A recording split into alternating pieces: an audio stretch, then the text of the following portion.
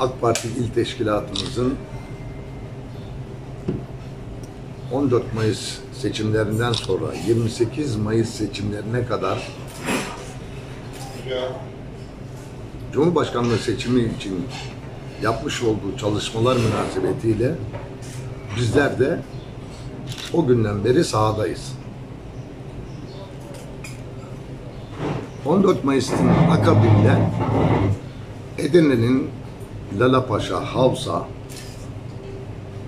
Keşan, Uzunköprü, İpsala, Meriç, Enes ve merkez olmak üzere 28 Mayıs seçimlerinde Cumhurbaşkanımızı tekrar Cumhurbaşkanı yapmak üzere yola çıktık.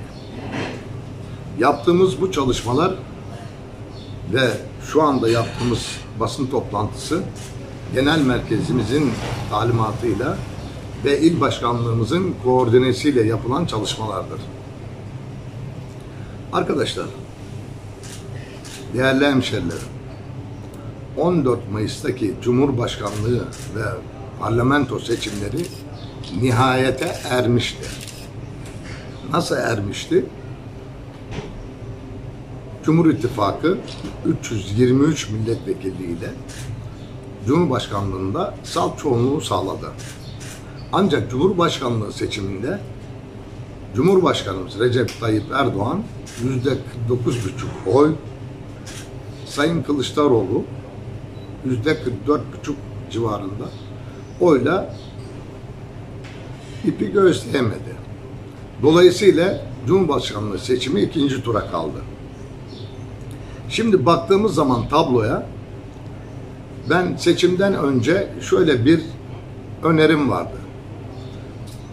Arkadaşlarımla siyaset üzerine konuşma yaparken ya da gazeteci arkadaşlarımızla istişare yaparken bu seçimin kaderini milletvekili seçimleri için illerde açıklanacak adayların isimleri göründükten sonra ne kadar kimin ne alacağını tespit edeceğimizi birbirimize söylüyor. Benim, benim tekim öyle oldu. Milletvekili adayları açıklanmadan önceki anketlere baktık. Farklı bir tablo var. Milletvekili adayları açıklandıktan sonra baktık ki değişik bir tablo oluştu. Bu değişik tablo sonuçlara da yansıdı. Dolayısıyla şunu söylemiştim ben ısrarla. Bu seçim tüm siyasi partilerin parti olarak kaybedeceği bir seçim demiştim. Bu önerim tuttu. Ne demek istiyorum ben? Türkiye'de tüm siyasi partiler, parti olarak söylüyorum, oy kaybına uğradı. İşte Cumhuriyet Halk Partisi. 100 yıllık bir parti geldiği nokta ortada. Tek başına girdiği zaman aldığı oy yüzde 24-25 civarında. Bugün nereden baksan 5 parti olarak girdiği seçimde aldığı oy yüzde 24 buçuk civarında. Bu demektir ki Cumhuriyet Halk Partisi'nin oyları düşmüş. Bunu zaten yerelde de gördük. Edirne özeline baktığımız zaman da Cumhuriyet Halk Partisi'nin oylarının büyük miktarda düştüğünü, 14 bin mi, 15 bin mi, 16 bin mi tem rakam bilmiyorum ama düştüğünü gördük. Peki AK Parti'nin oyları yükseldi mi? AK Parti'nin oyları da düştü. Peki İyi Parti'nin oyları yükseldi mi? Rakamsal olarak baktığınız zaman Edirne'de özelde İyi Parti'nin oylarının yükseldiği görülüyor. Hayır, yükselmedi.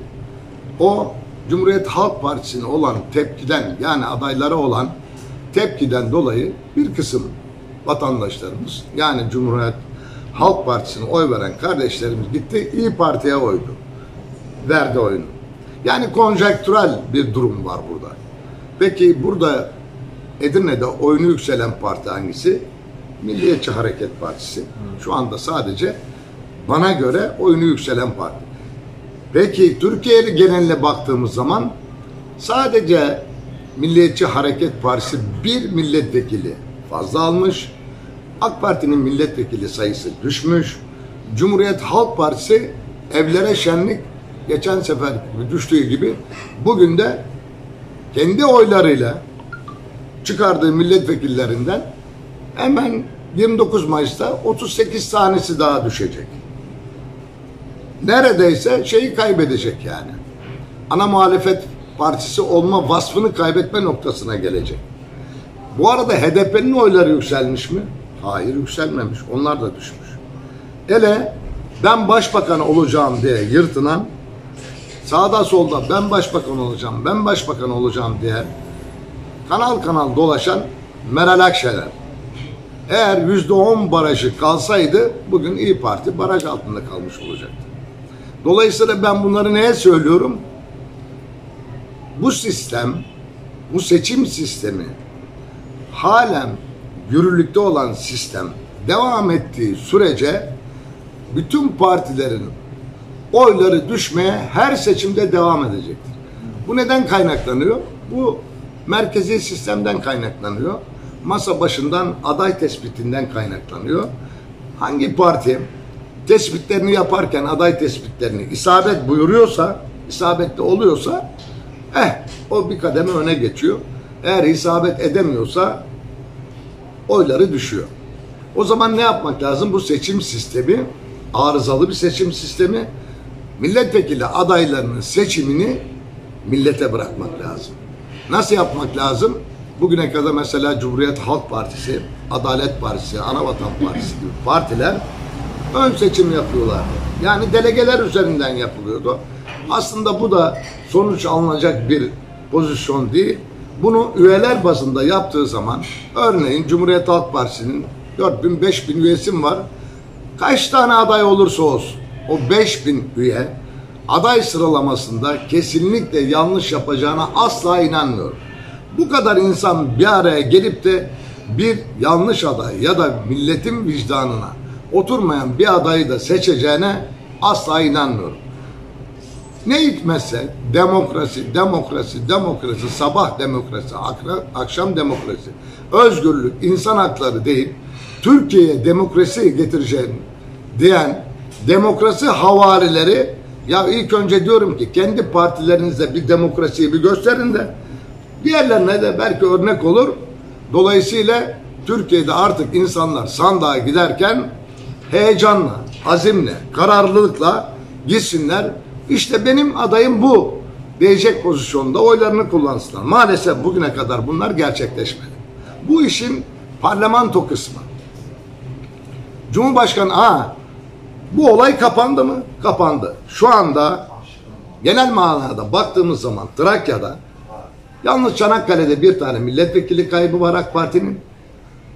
Tekirdağ'da aynı milletvekilleri aldı. Üç tane. Edirne'de zaten bir milletvekilimiz vardı. Yine bir. Kırklareli'nde bir milletvekilimiz vardı. Yine bir vekilde kaldı. Parlamentoda da 323 sandalyeyle Kahire ekseriyeti eline geçirdi. Salt çoğunluğu eline geçirdi. Dolayısıyla parlamento kısmını bitti ve bir kenara kondu. Şu anda Türkiye'de birinci turda yapılan parlamento seçimleri ve Cumhurbaşkanlığı seçimlerinde Cumhur İttifakı salt çoğunluğu meclise sağladı. Yalnız şey sağlayamadı tabii gördüğümüz gibi yüzde 49 buçukta kaldı. Şimdi önümüzde 28 Mayıs tarihi itibariyle ikinci tur seçimleri var. İkinci ikinci tur seçimleri. Az önce ifade ettiğim gibi 14 Mayıs 28 Mayıs arası sahadayız. Ben inanıyorum ki ve bu milletin ferasetine de güveniyorum. Edirne'de hangi siyasi partiye oy vermiş olursa olsun Edirneliler mutedil ve makul insanlardır. Yani hislerini öne çıkarmayan gayet sakin husuletle sandığa gidip rengini sadece sandıkta belli eden insanlardır. Dolayısıyla gezdiğim yerlerde, ilçelerde, köylerde ya da birebir istişare ettiğim insanlarda şunu görüyorum. 28 Mayıs Cumhurbaşkanlığı seçimi Edirne'de bitmiştir. Yani ne demek istiyorum? Edirne'de öyle bir sonuç çıkacak ki ekrana baktığı zaman insanlar bir defa ya hakikaten Edirne'de mi Cumhurbaşkanı Recep Tayyip Erdoğan bu kadar oyu aldı diye birbirlerine soracaklar. Bunu nereden görüyorum ben? Nereden görüyorum? Sokaktan görüyorum. Masa başında matematik olarak oradan bir oy gelecek, buradan bir oy gelecek demiyorum. Neden bunu söylüyorum? Şu anda insanlar seçim münasebetiyle yoruldu. Bu seçimin bir an önce sıhhatli bir şekilde bitmesini istiyor. Dolayısıyla tabloya bakıyor. Cumhuriyet Halk Partililerin dediği gibi hatta buna Cumhuriyet Halk Partililer de inanmıyor. Şu anda tekrar maç yeniden başlıyor. Sıfır sıfırla tekrar başlıyoruz. Öyle bir dünya yok. Maç 90 dakika ama uzatmaları var. Hangi süre oynatılmamışsa, hangi, hangi sürede top sahada olmamışsa bu maçın uzatması 15 dakika. Yani 15 gün. Peki 90 dakika iki takım nasıl top oynamış? Birisi atak üzerine, atak üzerine, atak üzerine yapmış. Bütün topları kale direğinden dönmüş.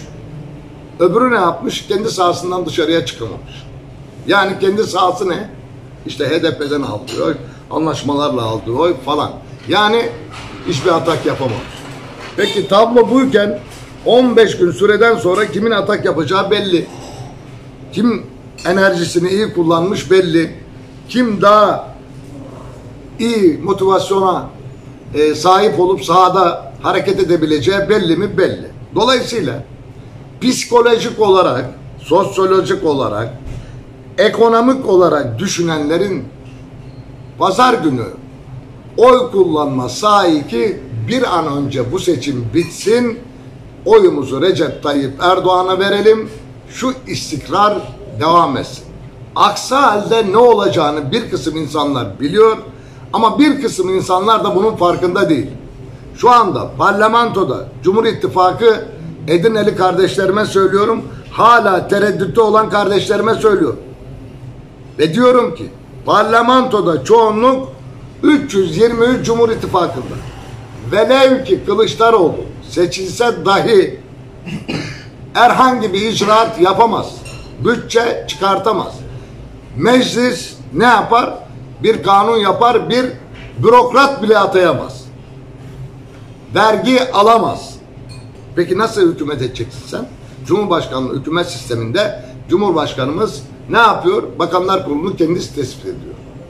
Kendisi tespit. Sadece Bakanlar Kurulu'nu tespit eder ama hiçbir icraat yapamaz. Ama şu anda Türkiye'nin pozisyonu ekonomik yönden, dış politika yönünden bir takım sıkıntıları var.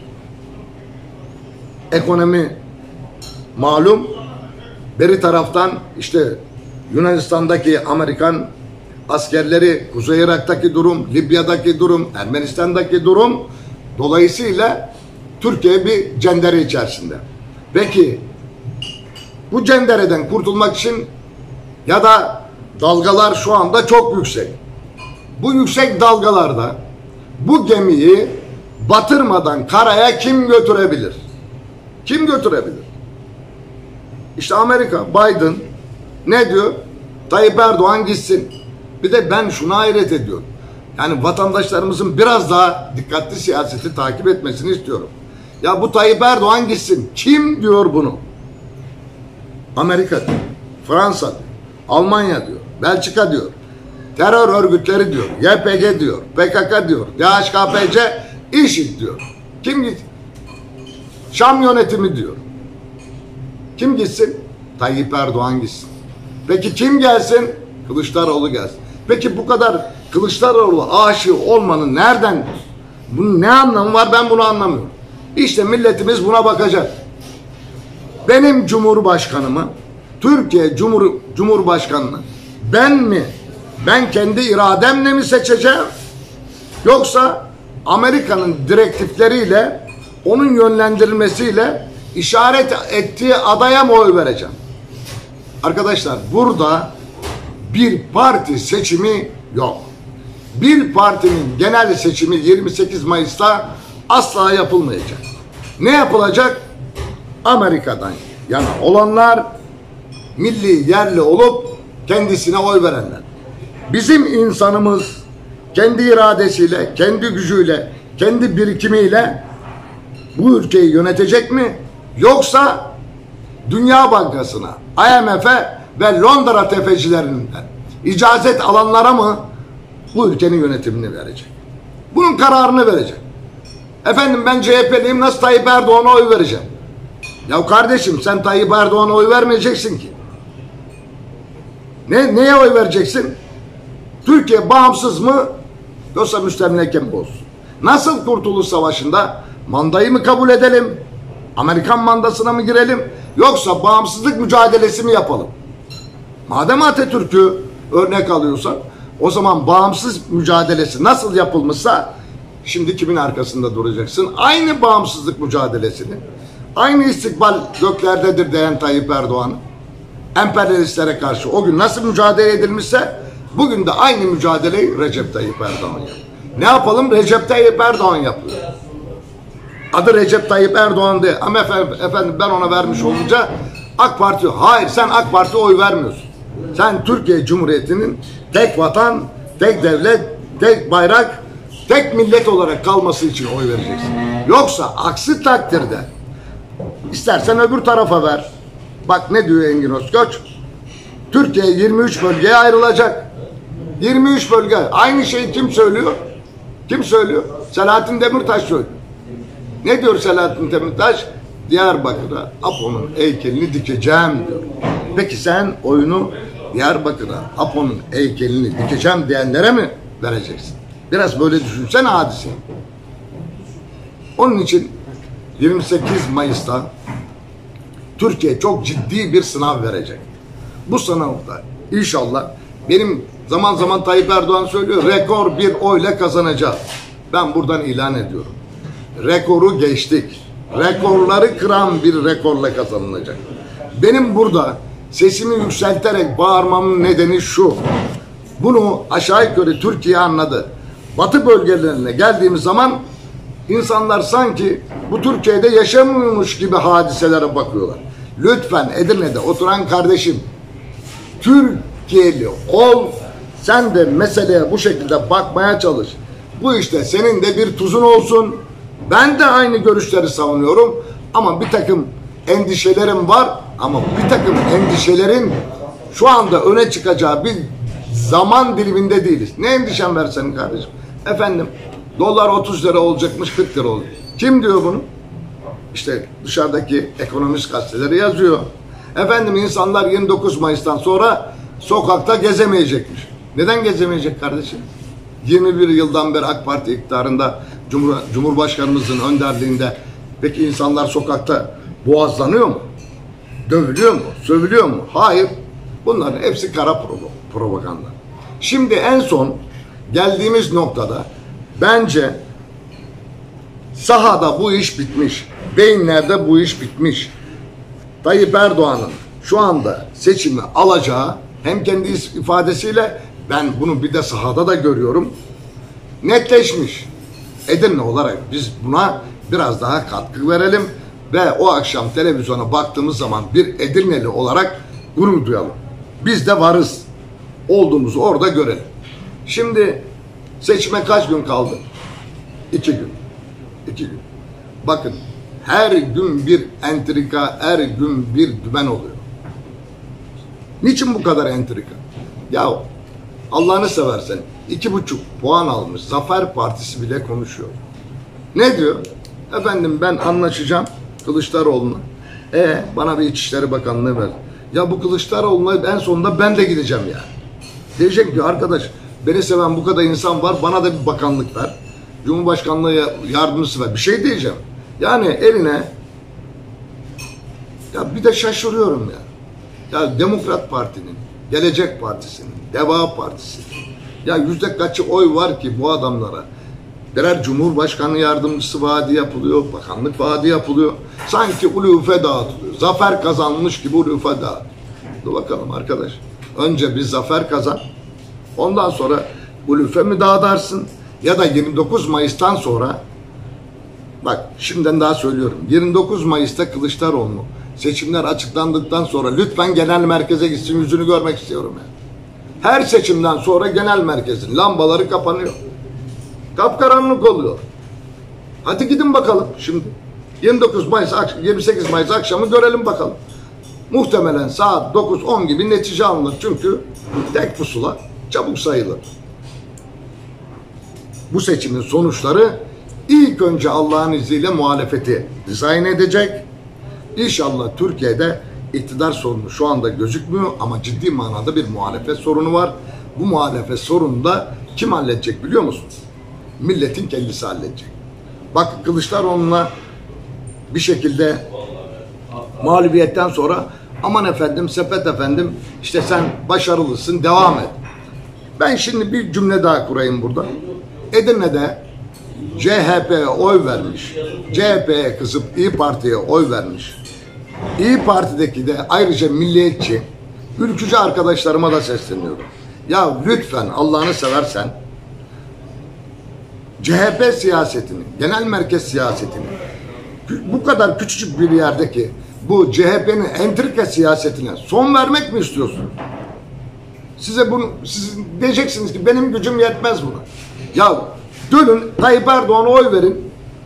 Yerelde de bu işler düzelecektir. Genel merkezde de düz- düzelecektir.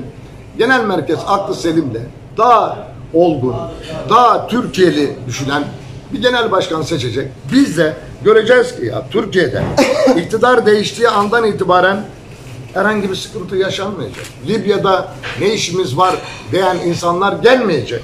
YPG terör örgütü değildir diyen insanlar gelmeyecek. Başörtüsüne bez parçası diyen insanlar gelmeyecek. İnsanlar da gönül rahatlığıyla bu iktidardan memnun değilse muhalefettekine oy verecek. Türkiye demokrasisi daha sağlıklı ve sıhhatli bir şekilde yürüyecek. 28 Mayıs akşamı inşallah onların dediği gibi bahar gelmeyecek 28 onların anladığı manada bahar gelmeyecek 28 Maya, Mayıs akşamı 85 milyon insan mutlu olacak. Türkiye Cumhuriyetlerinde yaşayan Türk vatandaşlarımız mutlu olacak. Balkanlardaki evladı Fatiha mutlu olacak. Tüm ümmet mutlu olacak. Tüm mazlumlar mutlu olacak. Dolayısıyla tekrar tekrar söylüyorum rahavete kapılmak yok. İki gün içerisinde yine yollarda olacağız. Yine vatandaşlarla birebir münasebetimiz devam edecek. Ama benim tek bir şu anda kafamda bir soru işareti var. Bu iki gün içerisinde ben Kılıçdaroğlu'nun seçimden çekileceği hissi var bende. Ben bunu kazanamayı, kazanamam bu seçimi deyip iki gün içerisinde kayış atarsa hiç şaşırmayın. Hiç şaşırmayın. Sizce sebebi ne olabilir? Bence sebebi zahirde görünen sebebi hep matematikte çok hesap adamı ya yaptığı hesap ne hikmetse artı artı koyduğu zaman eksi çıkıyor. Şu anda 38 vekili eksildi. Bu Yeşil Sol Parti ya da HDP dediğimiz parti Zafer Partisi'nin Cumhuriyet Halk Partisi'ne dahil olmasından sonra sıkıntı yaşıyor şu anda. Hangi sıkıntıyı yaşıyor? Maşallah Kılıçdaroğlu iktidara gelirse ne yapacağım dedi. Kayyum atamayacağım. Yani bir terörist efendim Doğu'da bir yerde belediye başkanı oldu. Belediyenin tüm imkanları dağa gönderiyor. Her türlü lojistik desteği yapıyor ama ona dokunmayacağız dedi. Değil mi? Şimdi bunlarla yapılan anlaşma içerisinde şu maddeyi koymuşlar. Efendim demişler ki eğer terörle iltisakı varsa mahkeme süreci devam edecek. Mahkemenin sürecinin sonunda ancak bu olur ve burada bir sıkıntı yaşanır. Şu anda Ye- Yeşil Sol Parti akşamdan beri toplantı halinde. Bilmiyorum ne kadar doğru onların gençlik teşkilatının bu işe tepkisi var. Velev ki hiçbir şey olmasın. Velev ki onlar da tıpış tıpış sandığa gitse dahi Allah'ın izniyle 28 Mayıs akşamı Zafer Türkiye'deki yaşayan 85 milyonun mutlu olduğu bir neticeyle zuhur edecektir. Ve milletimiz de inşallah 29 Mayıs sabahı huzurlu bir şekilde bizler esnaf olarak işimize, gücümüze döneceğiz inşallah diyorum. Rabbim birliğimizi, beraberliğimizi daim eylesin. Memleketimizi, milletimizi her türlü fitneden muhafaza eylesin. Ve bu kadar entrikanın, bu kadar örgütlerin cirit attığı, dış mihrakların seçimimize müdahil olduğu bu seçimde 100 yılın seçiminde Türkiye 100 yılının başlangıç işaret bir de inşallah Büyük Türkiye zaferiyle birlikte Recep Tayyip Erdoğan'a nasip etsin diyorum. Hepinize hayırlı günler diyorum. Sağ olun, var olun, kalın sağlıcakla.